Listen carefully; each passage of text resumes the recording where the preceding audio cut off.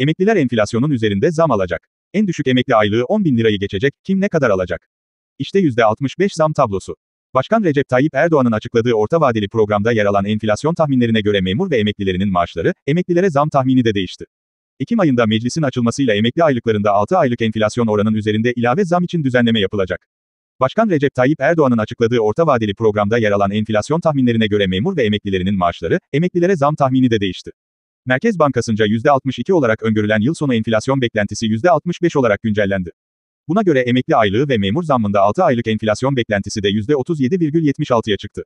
Bu tabloya göre SSK, Bağkur emeklisi %37,76 zammı garantilerken refah payıyla birlikte artışın %45'i geçmesi bekleniyor. Memura da Ocak ayı için zammı %49,46 olarak hesaplanıyor. Ek zam meclise gelecek. Ekim ayında meclisin açılmasıyla emekli aylıklarında 6 aylık enflasyon oranının üzerinde ilave zam için düzenleme yapılacak.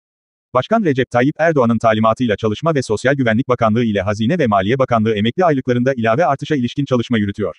Emeklilere yapılacak ilave artışın Ocak ayı itibariyle yürürlüğe girmesi bekleniyor.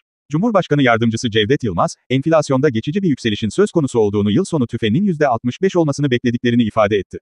%65 olan yıl sonu enflasyon tahmini emekliye zam oranını ortaya koydu. TÜİK verilerine göre Temmuz-Ağustos artışı %19,44 olurken, OVP tahminine göre enflasyon zammı %37,76 olacak. Mecliste yapılacak düzenlemeyle enflasyonun üzerine ek olarak bir iyileştirme yapılacak. Kim ne kadar alacak? Ayrıca 7500 lira olan en düşük emekli aylığının da yılbaşında artırılması bekleniyor.